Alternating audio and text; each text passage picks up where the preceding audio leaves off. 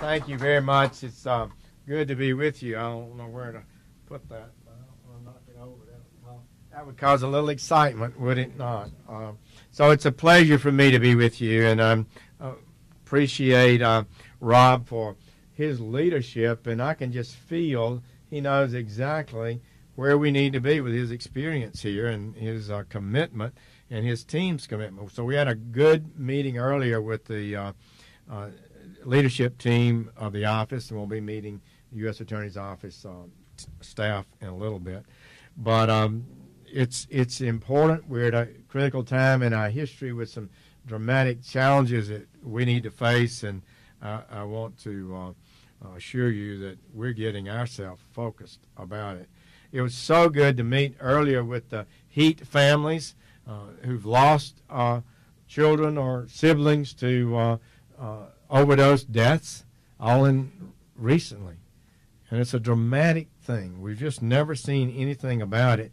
And their commitment uh, to share their story uh, is uh, critical to our long term success.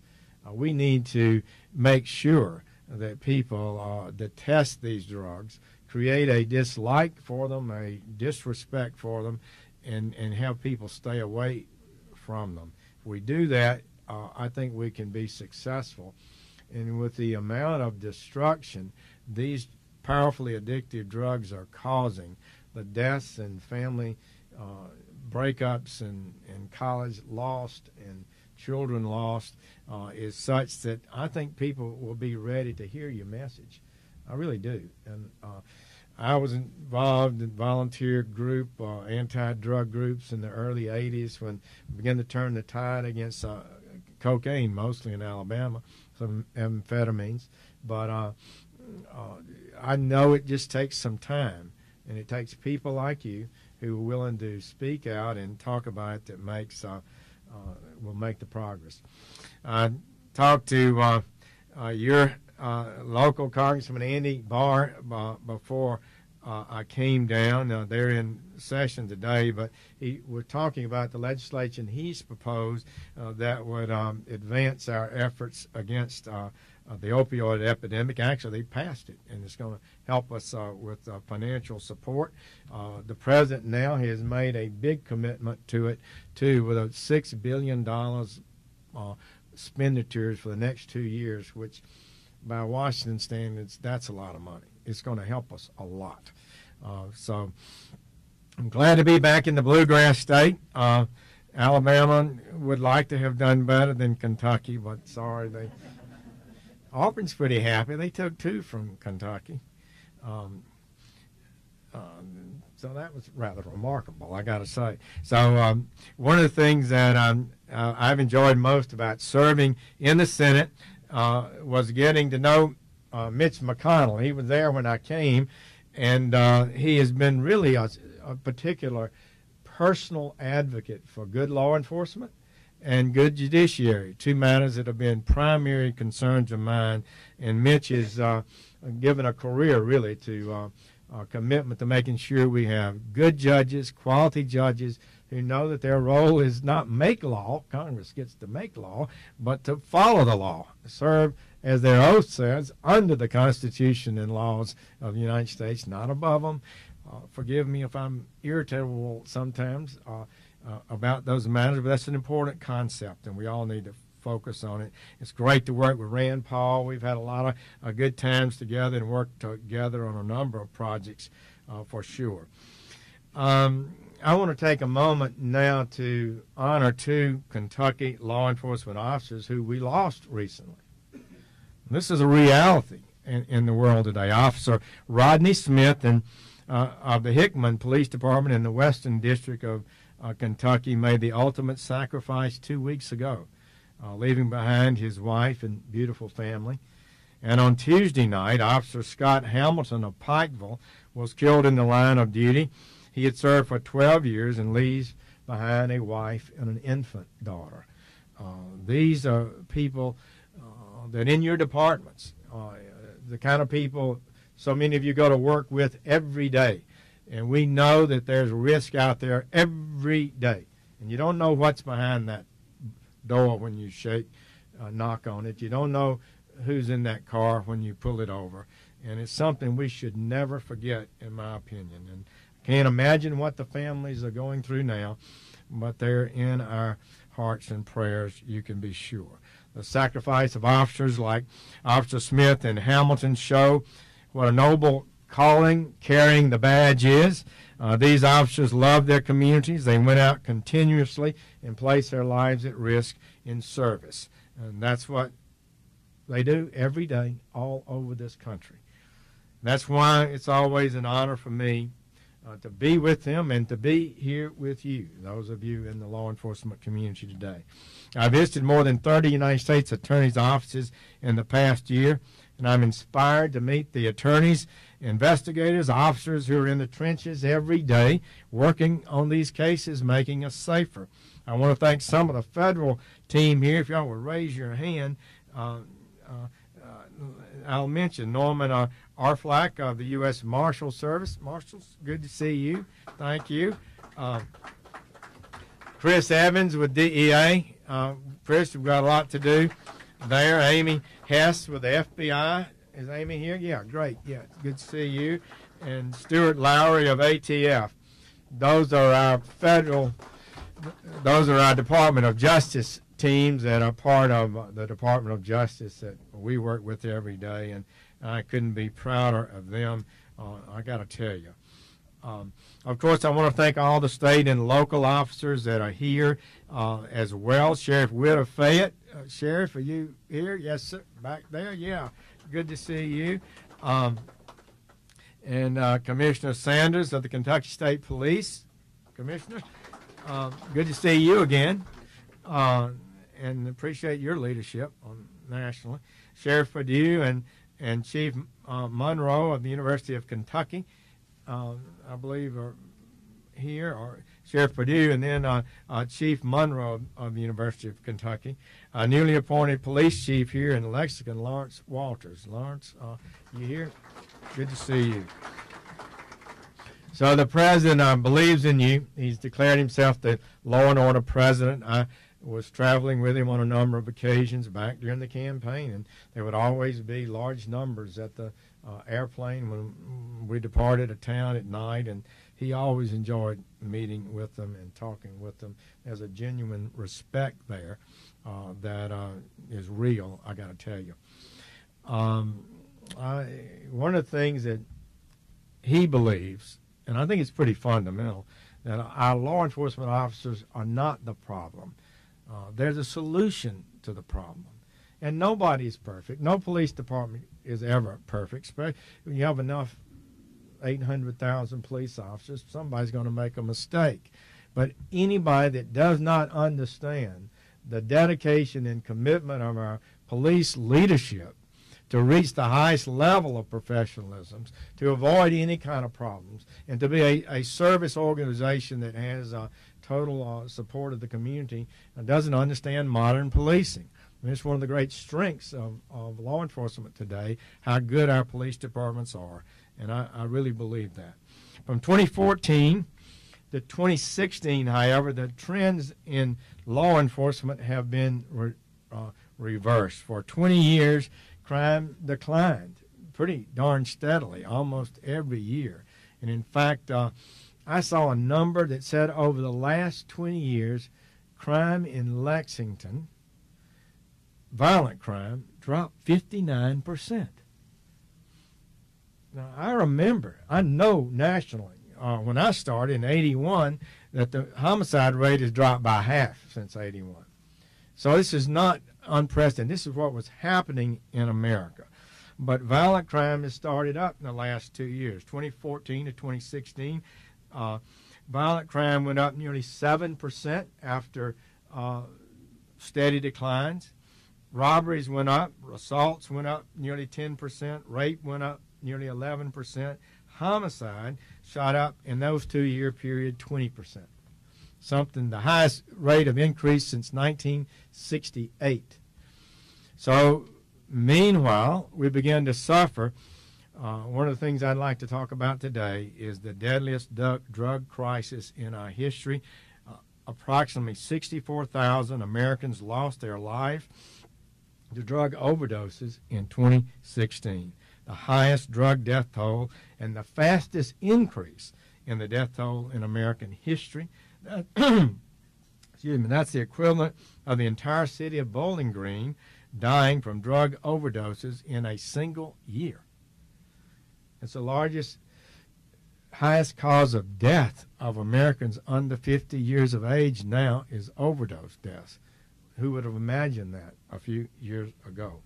Preliminary data shows another, but maybe a little smaller increase for 2017 uh, from 64 to 66,000. In, in 2015, it was uh, uh, 52,000. In 2016, 66,000. What a big increase that is. Um, epi- the epidemic is dri- being driven primarily by opioids, prescription painkillers, heroin, and even synthetic drugs like fentanyl. In fact, mostly in many ways like fentanyl, which you have a good bit of here. In 2016, opioid overdoses killed 42,000 Americans, five times the number from 17 years ago. Over those 17 years, it's estimated that the opioid crisis has cost the United States of America a trillion dollars. I saw a recent study that said that 2017 the cost was over a hundred billion dollars. So this is impacts us as a nation, not only our physical health, our mental health, but also our financial strength, and uh, it drives up the cost of all kind of health care. So we're experiencing uh, these high death rates uh, that we've never seen. By the time I have finished speaking, another American will have died of an opioid overdose, and another baby will be born who is physically dependent on opioids. Sadly, Kentucky knows these uh, numbers well. Just a few minutes ago, I met with our families, the Heat families. I want to thank them formally for sharing their experiences and insights with me. Uh, their example of personal strength is inspiring to me and I hope to all of you. We have to put an end to this crisis so that more families don't go through what they have endured. There were 100, there was 1,400 fatal overdoses in Kentucky in 2016. 1,400. Kentucky had the fifth highest drug overdose rate in America. Nearly half of these deaths were as a result of fentanyl. One third involved heroin, both considered opioids. Here in Fayette County, the number of heroin related overdose deaths more than doubled in just three years. In 2017, Lexington area paramedics used Narcan, which is an opioid reversal drug, which can be helpful, every single day of the year. They found people that had overdosed, maybe unconscious. They injected them with Narcan every day of the year. They used it uh, in so many different people in serious distress. So, as we all know, these are not just numbers. They are, we must remember, moms, dads, daughters, spouses, friends, and neighbors. One of the root causes of this epidemic is the fact that we prescribe too many painkillers. I really think this country is prescribing too many.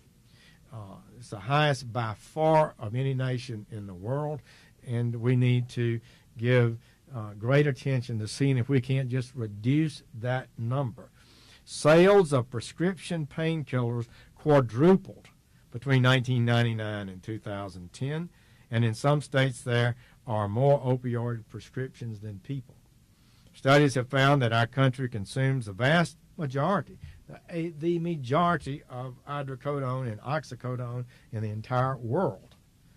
And yet, according to a report published in the Journal of the Medical American Medical Association, a fine journal, just recently, Common over the counter non opioid medications are just about as effective. Uh, actually, in some instances, they found more effective against certain kinds of back and joint pain as the prescription opioids are. So, this should tell us something a lot cheaper and a lot less dangerous. Overprescribing risks spreading addiction. It leads to pills getting into the wrong hands. It can lead to heroin and fentanyl addiction and death. A survey back in 2014 found that nearly 6,000 Americans abused prescription drugs for the first time every day, causing an untold number of addictions. So I want to thank all of you for doing your part to end this crisis. When we enforce our drug laws, we prevent addiction and violence from spreading. The work that you do helps keep drugs out of our country, reduce their availability, drive up their price, reduce their purity, and the power of their addictiveness. It really does save lives. It just does. People think law enforcement often they say it doesn't make a difference. It does make a difference. Of that I have absolutely no doubt. And that's why the department has been so aggressively pursuing those who would profit off addiction. We have new plans, programs, and we want to sustain them with our state and local law enforcement officers' help. This past summer, the department announced my Department of Justice, the largest healthcare fraud takedown in American history. DOJ coordinated the efforts of more than 1,000 state and federal local law enforcement agents to arrest 400 defendants, including more than 50 doctors. These defendants allegedly committed more than $1 billion in fraud. Just that group.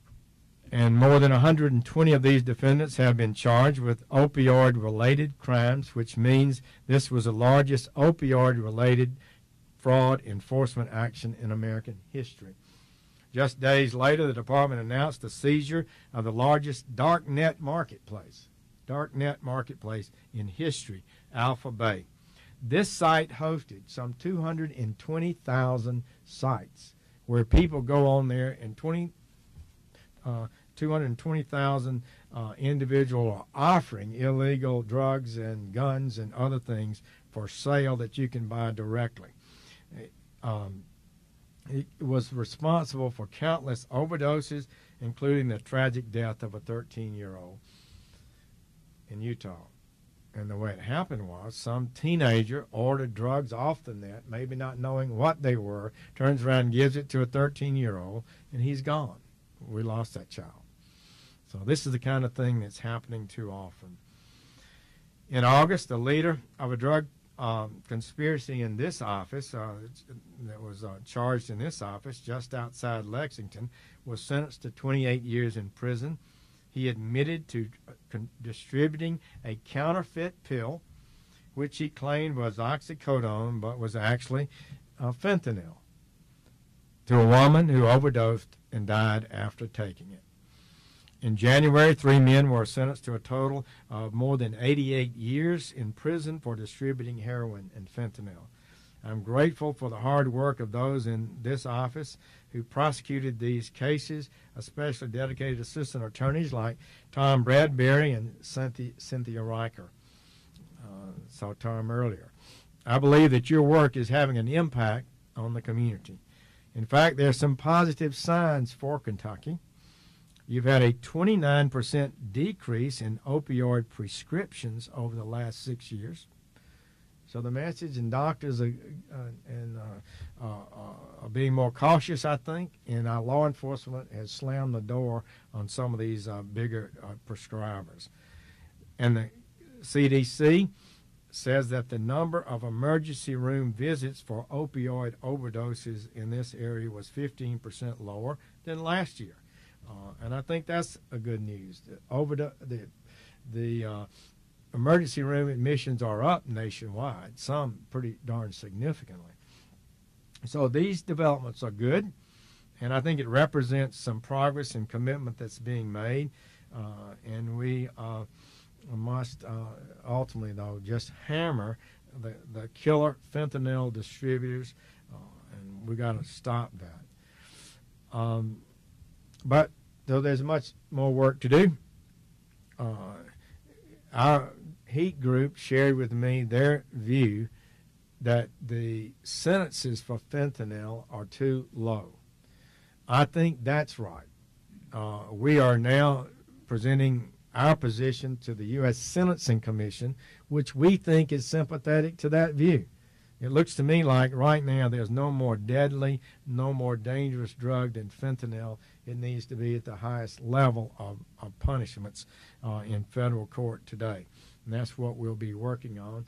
And if we can target those cases, work after every one of them, try to take them up the line uh, when you make an arrest in the city or the, the sheriff makes an arrest, those kind of things, if we can follow them to the bigger dealers, I think we can uh, make a difference in the fentanyl availability.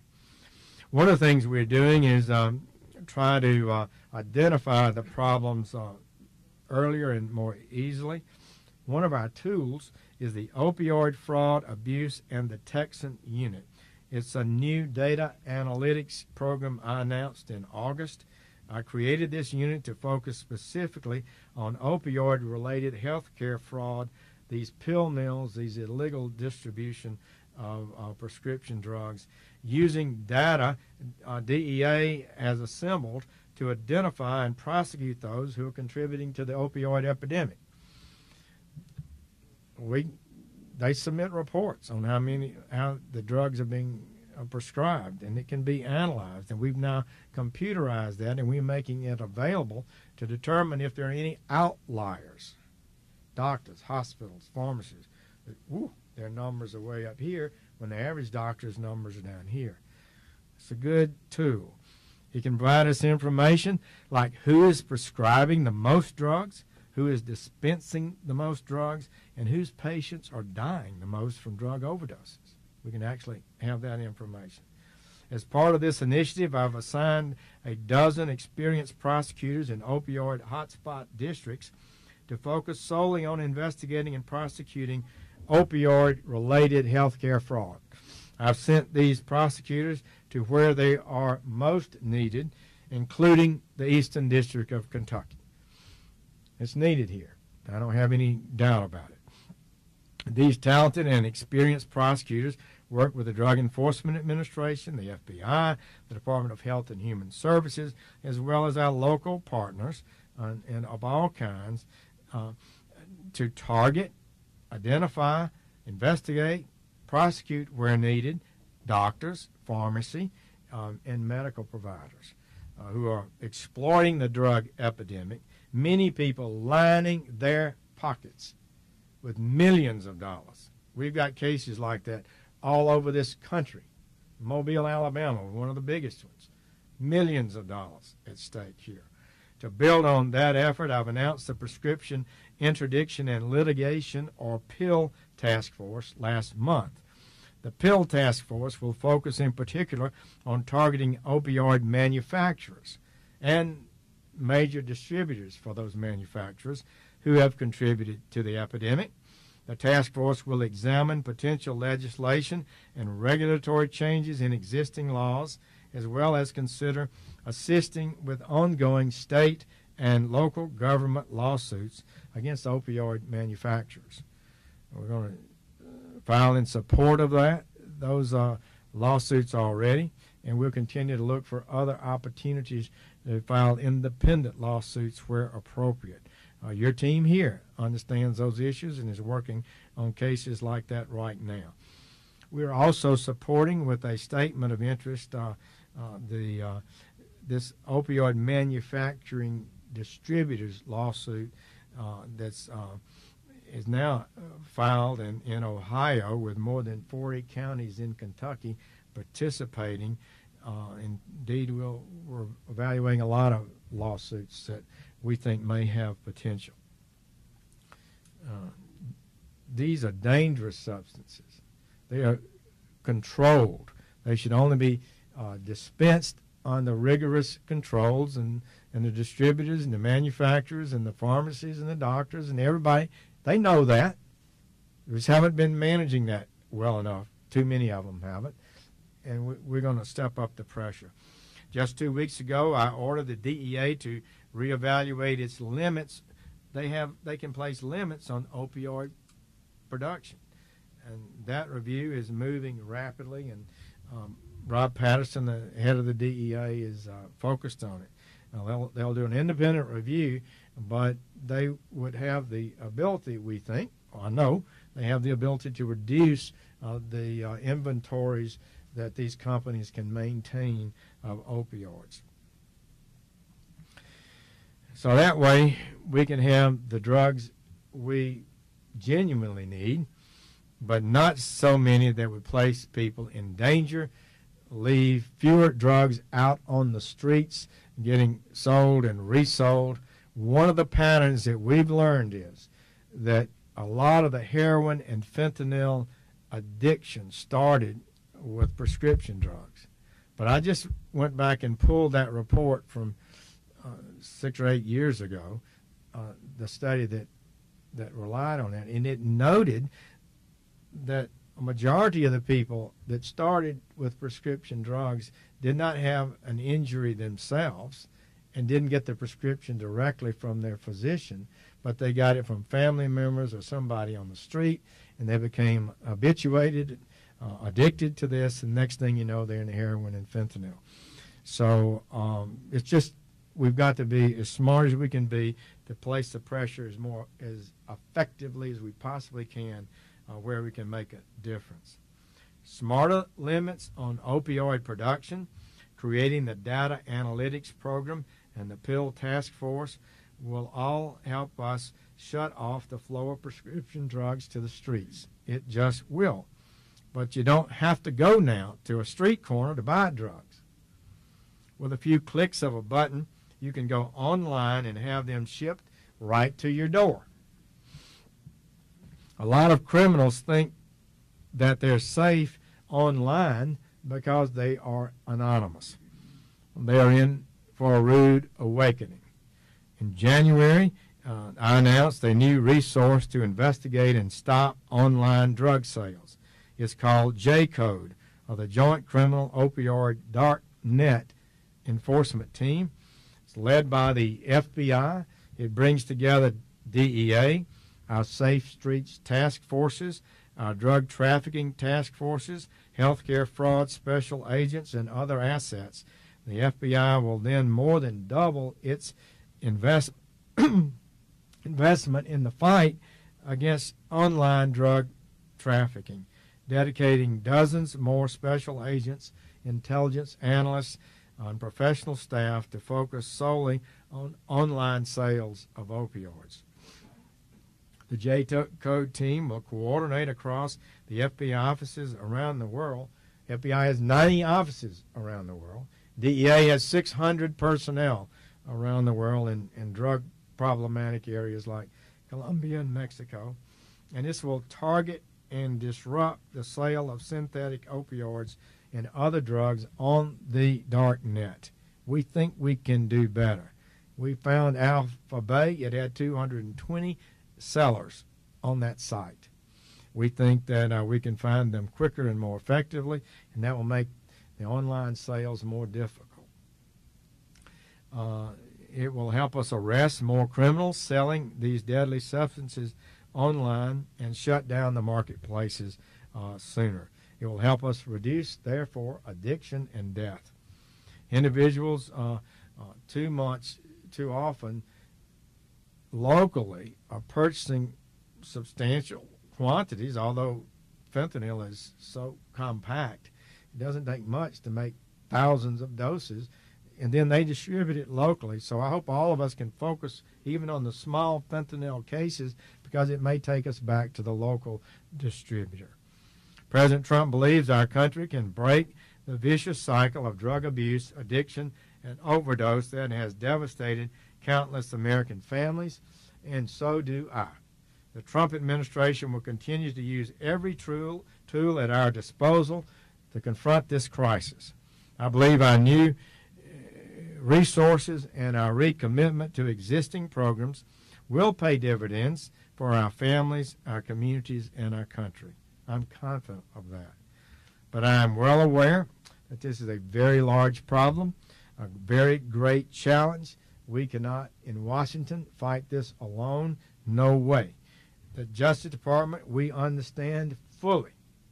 Hear this, friends. All of this is not going to be settled in Washington, as you can imagine. 85% of law enforcement officers in our country today serve at the state and local levels. They're more talented, more trained, and more educated than we've ever had before. We would like to help them be more effective. Also, we can reach defendants sometimes the locals cannot because of jurisdictional boundaries, city lines, county lines, state lines, and national lines. But we can, in the federal government, we have the ability to cross those lines and can be a key player in us taking a local case and maybe taking down a major national organization. So I'd like to close by reiterating my deep appreciation and profound thanks to all the men and women of law enforcement, federal, state, local, tribal, as well as their families for sacrificing so much and putting our lives on the line every day so that the rest of us may enjoy the safety and security you provide. The work you do is essential. I believe it. The Department of Justice believes it. The President believes it. And you can be certain about this. We have your back. You have our thanks. Thank you for what you do, and God bless you all. Thank you.